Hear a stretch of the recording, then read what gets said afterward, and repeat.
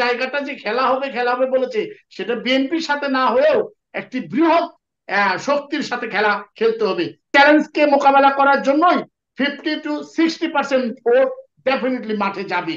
যারা তিনশো এমপি দাঁড়িয়েছে, এখন কমে যাচ্ছে সাতষট্টি জন বোধ হয় দুইশো সাতষট্টি জনের মতো বা তেষট্টি জন। সেই মানুষের জন্য চ্যালেঞ্জ হিসাবে আমি মনে করি আগামী দ্বাদশ জাতীয় সংসদ নির্বাচন। বাস্তব জীবনে সিদ্দিকুর রহমান টেলিভিশন স্ক্রিনের সিদ্দিকুর রহমান, আওয়ামী লীগের সিদ্দিকুর রহমান। তিনটা সত্তা। বাংলাদেশের মানুষ সত্তাকে আলাদা করতে পারে না। কেন পারে না? তার কারণ আছে। আমি তো বলি, বাংলাদেশের রাজনীতির সেভেন্টি থেকে এইটি পার্সেন্ট মানুষ, যারা কিনা সত্যিকার অর্থে আমি আমার ফেসবুকেও দিয়েছি।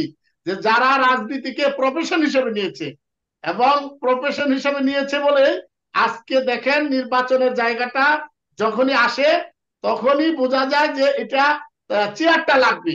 চেয়ারটা লাগবে পৃথিবী উল্টে গেলে। আজকে ফারুক ভাই কথা বলতেছে, তার দল নিয়ে কথা বলতেছে বা আর উনচল্লিশটা দলের মধ্যে আবার নাম বলতে বলতেছে, যাই করুক না কোনো, দিন শেষে চেয়ার লাগবে। কিন্তু সিদ্দিকুর রহমান ব্যক্তি সিদ্দিক ঠিক আছে ব্যক্তি সিদ্দিক নিয়ে আমরা কথা বলছি ব্যক্তি সিদ্দিক সামনে নির্বাচন অংশগ্রহণ করছে না। আপনি আপনার কাছে কি হিসাব আছে? আপনার কাছে কি ইকুয়েশন আছে বা কি পরিসংখ্যান আছে? কেন আপনি বলছেন যে ষাট শতাংশ লোক যাবে? এই ষাট শতাংশ লোক যাওয়ার পক্ষে সপক্ষে আপনার কাছে এমন কোন যুক্তি আছে কিনা যে এই কারণে ষাট শতাংশ লোক যাবে?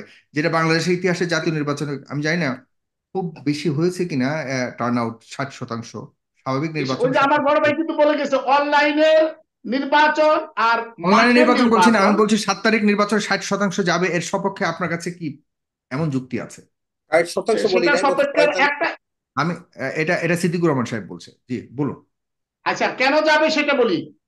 গত পনেরো বৎসরের ইতিহাস বাংলাদেশের যে উন্নয়নের জায়গা সেই উন্নয়নের জায়গাটা সেভেন্টি ওয়ান ওয়ান থেকে এই গত পনেরো বছর বাদ দিলে যেটুকু হয় সেই উন্নয়ন। আর মাননীয় প্রধানমন্ত্রী পনেরো বছরের উন্নয়ন অবকাঠামোমূলক উন্নয়ন থেকে শুরু করে সকল ক্ষেত্রের উন্নয়ন মানুষ ফিল করছে। সত্যিকার অর্থেই সেই জায়গাটা ফিল করবে দ্বাদশ জাতীয় সংসদ নির্বাচনে। আর একটা করবে যারা দেশের বাইরে বসে সেট মেনু খেয়ে, যারা ওখান থেকে অর্ডার করে এখানে সাধারণ মানুষকে লাশ বানায় এবং তাদের বিপক্ষে নির্বাচন হচ্ছে বারো সাতই জানুয়ারি নির্বাচন আমি মনে করি। গণতন্ত্রে আপনাকে বিশ্বাস করতে হবে, আপনাকে মাঠে থাকতে হবে। মাঠ কথাটা কিন্তু এইবারই বেশি উঠে আসছে। আর বারবারই বলেছে যে আরেকটা কথা উঠে এসেছিল, সেটা হবে খেলা হবে। খেলা তো হতেই হচ্ছে হচ্ছে হচ্ছে এবং আগামী চব্বিশ তারিখও সরি সাত তারিখেও পর্যন্ত হবে এবং তারপরেও হবে, আমরা জানি। কিন্তু সেই খেলাকে মোকাবেলা করার জন্য মাননীয় প্রধানমন্ত্রী যে উদ্যোগ নিয়েছে, সেটা আমি মনে করি যে সারা পৃথিবীর বিরল। সেটা কি? সেটা হচ্ছে যে একটি দলের বিপক্ষে আপনাদের আলোচনা থেকেও আসছে এটা যে উনি উনার দলের বিপক্ষে আবার আরেকটি দলকে দাঁড় করিয়ে দিয়েছে যেটা আপনারা বললেন। সেটা একটি দলকে নয় কিন্তু আমি বলি বৃহৎ শক্তিকে দাঁড় করিয়ে দিয়েছে। কারণ আমি এটাতে বেশি হ্যাপি হয়েছি যখন মাননীয় প্রধানমন্ত্রী আমাদেরকে চা চক্রের জন্য তার বাসভবনে ডেকে আমাদের সামনে যখন এই ঘোষণাটা দিয়েছে আমি বলেছি হ্যাঁ এইবার নির্বাচনের জায়গাটা যে খেলা হবে খেলা হবে বলেছে, সেটা বিএনপির সাথে না হয়েও একটি বৃহৎ শক্তির সাথে খেলা খেলতে হবে। যারা তিনশো এমপি দাঁড়িয়েছে, এখন কমে যাচ্ছে সাতষট্টি জন বোধ হয় দুইশো সাতষট্টি জনের মতো বা তেষট্টি জন।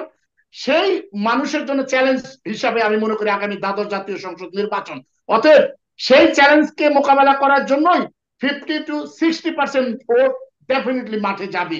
সেটা যদি না হয় আপনারও কোনো ঘোষণা আছে কিনা? যেটা একজন ফারুক হাসান তো বলল যে তার নির্বাচন রাজনীতি সে ছেড়ে দিবে। কিন্তু আপনি কি এই চ্যালেঞ্জের বিপরীতে আপনার কোনো অবস্থান থাকবে কিনা? হ্যাঁ ডেফিনেটলি আমি কিন্তু দেখেন আমি কিন্তু গত মানে আপনি বলুন রাজনীতি ছেড়ে দিবেন বা অভিনয় ছেড়ে দিবেন যে কোনো একটা জিনিস বলুন অন্তত পক্ষে অন্য নতুনটা সুযোগ পাবে ছেড়ে দেওয়ার আপনাদের জায়গাটুকু সুযোগ পাবে। আপনি কিছু বলতে চান যাই হোক আপনি মনে করছেন পঞ্চাশ থেকে ষাট শতাংশ জনগণ ভোট দিতে যাবে। আহ জনাব ফারুক হাসান বলছে পাঁচ শতাংশের বেশি যাবে আপাতত এই জায়গাতে আমি জনাব পলাশ